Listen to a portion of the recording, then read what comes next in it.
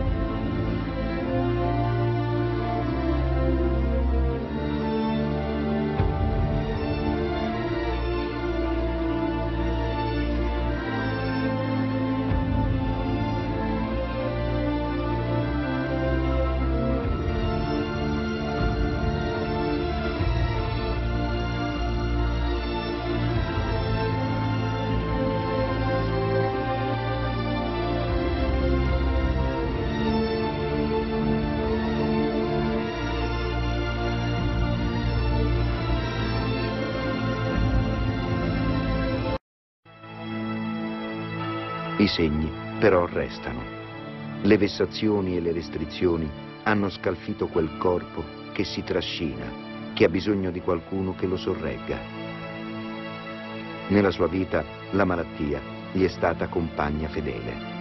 Adesso si aggiungono anche i malanni dell'età avanzata. E poi quella fama che lo circonda, che pochi uomini di chiesa, che non siano papi, hanno conosciuto in vita, diventa sempre più faticosa da portare. Certo, vede crescere la sua opera. I dieci anni della Casa Sollievo lo vedono lì, seduto in prima fila, mentre l'Ercaro celebra la messa.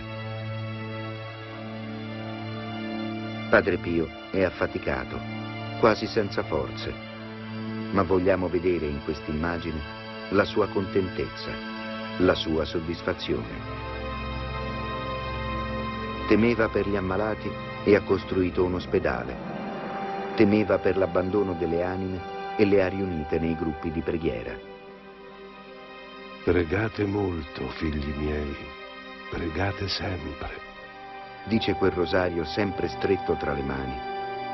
In quanto a me, è ora che il Signore mi chiami a sé. Dice con quel volto segnato e quel corpo quasi immobile. Il 20 settembre 1968 cade il cinquantesimo anniversario della stigmatizzazione di Padre Pio. Per l'occasione è indetto un convegno internazionale dei gruppi di preghiera. Una fiaccolata apre l'evento.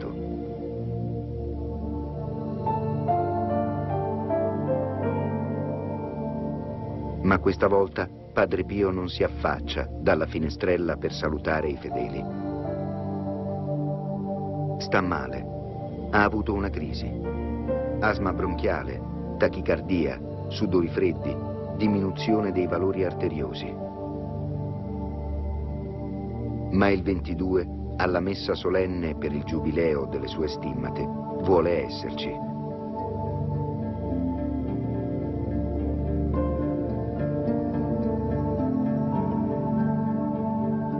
Non cammina quasi più. Ha ricevuto la dispensa per poter celebrare la messa seduto e ha ricevuto anche il permesso per poter continuare a celebrare quella messa in latino, nonostante le nuove norme conciliari. Padre nostro, che est in cielo, santo miserere tuum, adveniat regnum tuum, fiat voluntas tua, سكت الجلوة الرافع بعد من أصف ودديان من الأمس وديان تدميت الأمس تابل الأخرى سكت الراس ميت من البلاد أصلش تنالاش من جمعسين لندات يا نمر سبيل الله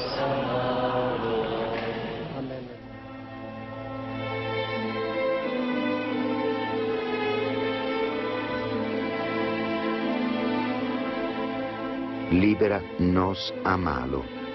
fino a quando si accascia di colpo, svenuto.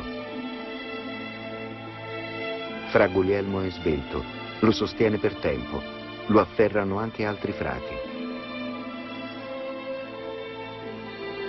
Poi in carrozzella lo conducono in sagrestia.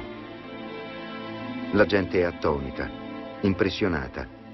Vede il suo padre Pio venire meno mentre lui, preso per le braccia, sembra dire Vi abbraccio tutti, figli miei.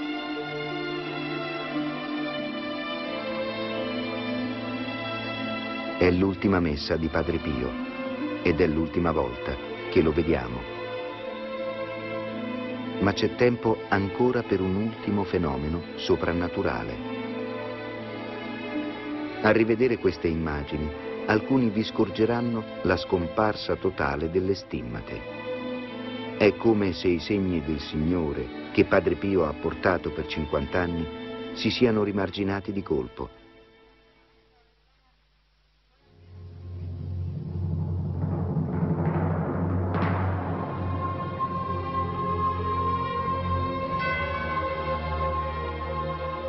In realtà diranno in seguito coloro che lo hanno assistito, già da qualche mese è iniziata la loro scomparsa. Padre Pio, nella notte del 23 settembre del 1968, smette di soffrire. Sono le 2.30. Intorno a lui, medici e confratelli. Se ne va così l'unico prete stigmatizzato della Chiesa.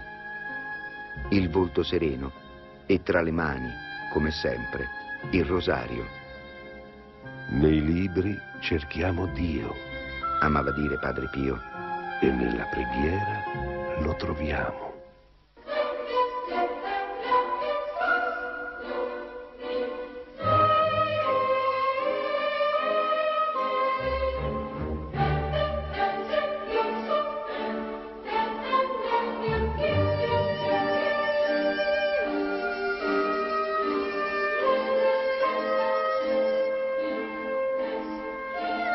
Per tre giorni una folla immensa e commossa dà l'ultimo addio al padre.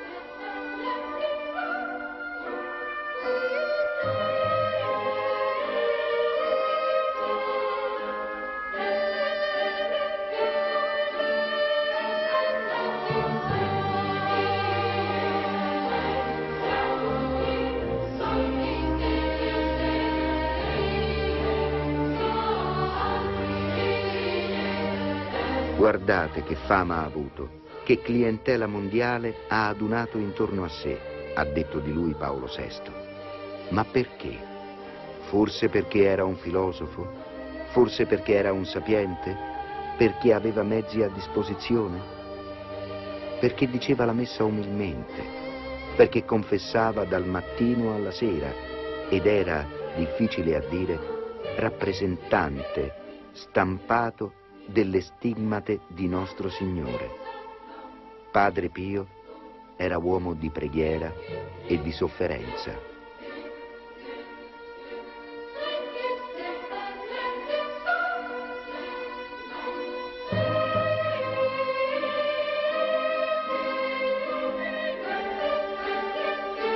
In una lettera del 1923 aveva scritto mi ricorderò sempre di questa generosa popolazione nelle mie povere preghiere, implorando per essa la pace e la prosperità. Non potendo fare nient'altro, in segno di predilezione esprimo il desiderio, se i miei superiori non vi si oppongono, che le mie ossa riposino in un angolo tranquillo di questa terra.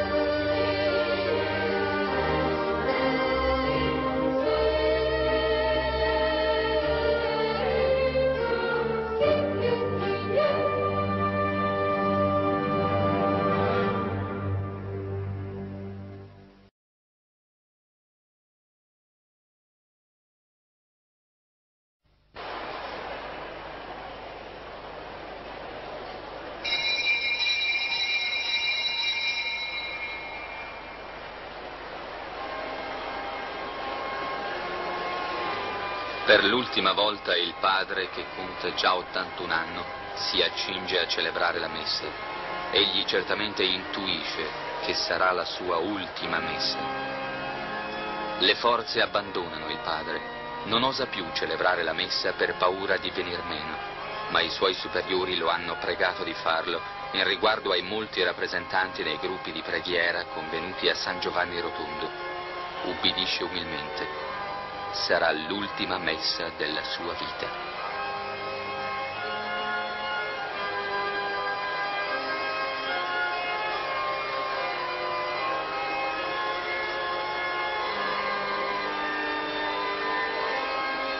Prima di incominciare esita alquanto.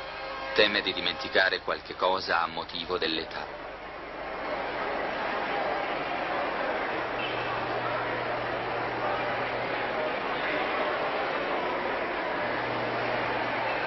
Durante tutta la vita Padre Pio si riconosce peccatore davanti a Dio.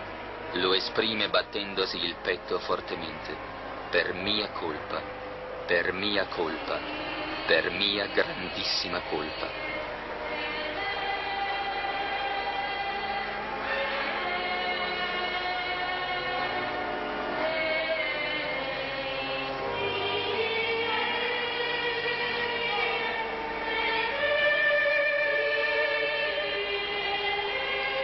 Prima di recitare il Kyrie, Padre Pio si sofferma per ricordare a Dio le anime da lui affidategli. Signore, pietà.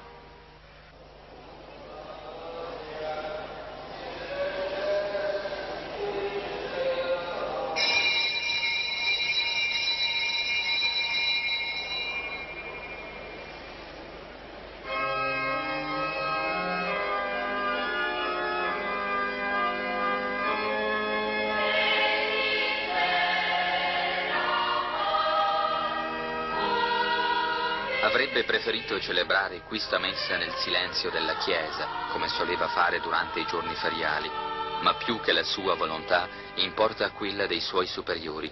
Egli celebra dunque la messa in perfetta ubbidienza.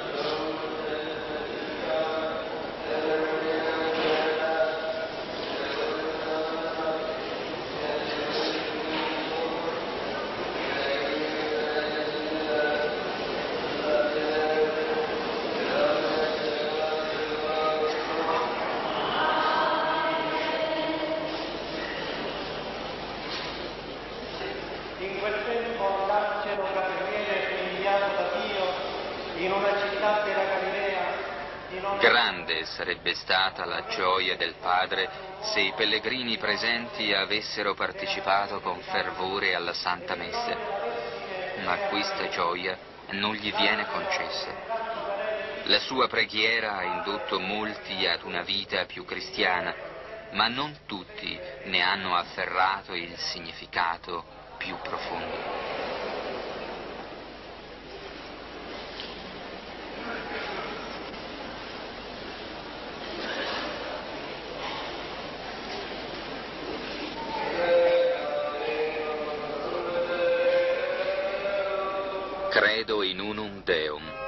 Per i fedeli la vita del Padre e particolarmente le sue stimmate diventano aperta dimostrazione dell'operare di Dio nel mondo. La Bibbia dice, beati quelli che non vedono eppure credono, ma è meglio vedere e credere che non vedere e non credere. Il Padre accede all'altare. Sono questi gli ultimi passi di un duro calvario. Durante la messa i dolori del Padre si fanno fortissimi e gli spasimi si manifestano in tutta la persona. Il corpo del Padre cede.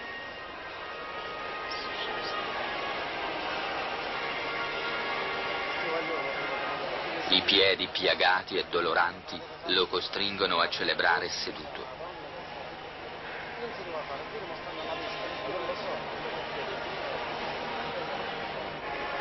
Anche oggi egli con il pane e con il vino offre a Dio tutto se stesso. Egli offre la propria sofferenza, la propria morte, che egli sa imminente, affinché Dio spanda sugli uomini le sue grazie. Da vero sacerdote di Cristo, egli prende su di sé le sofferenze che Dio manda ai suoi fratelli, per attenuare loro il dolore nel corpo e nell'anima e condurli così a Dio.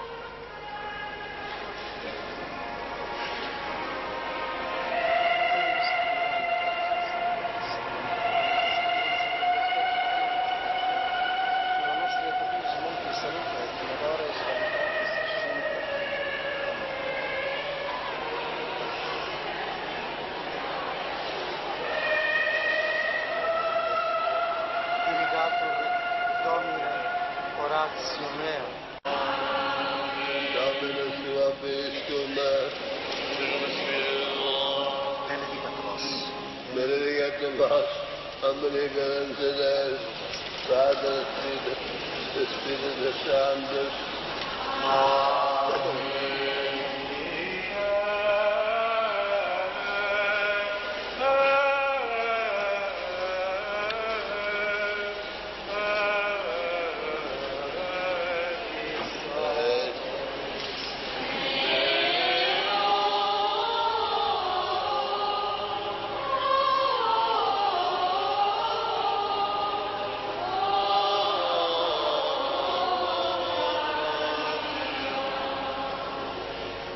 Finito. Le forze vengono meno.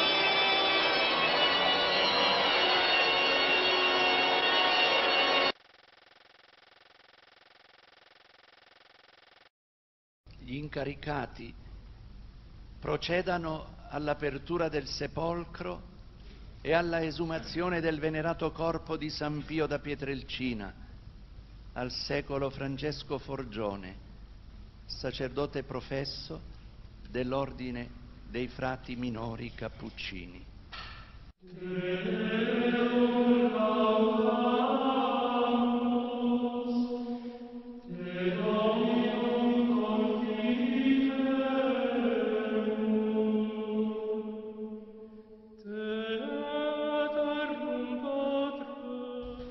Che ci accingiamo a compiere è un gesto di affettuosa, delicata, discreta e rispettosa devozione verso le spoglie mortali del nostro San Pio da Pietrelcina.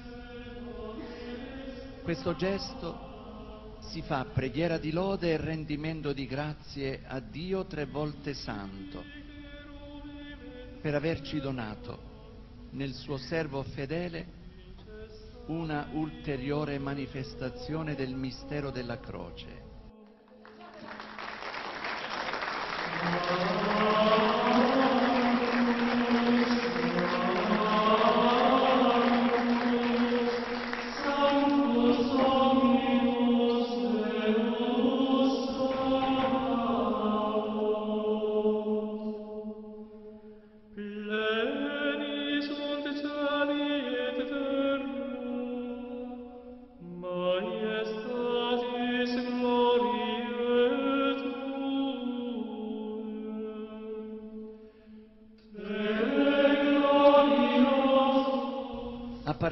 Tutti noi. Gli siamo grati e devoti. Sentiamo forte la sua intercessione e protezione. Gli vogliamo bene. Il gesto della ricognizione canonica rientra nella collaudata e secolare prassi della Chiesa. Padre Pio, fratelli, sorelle, amici, ci ha lasciato un testamento e una eredità. Questa eredità è la santità, a cui tutti noi, devoti e suoi figli spirituali, dobbiamo attingere. In